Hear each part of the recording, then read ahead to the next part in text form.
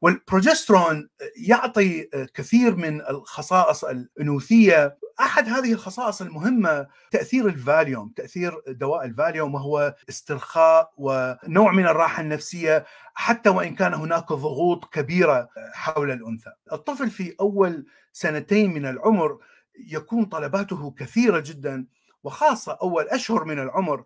الأنثى يجب أن ترعى هذا الطفل تقريبا 24 ساعة في اليوم.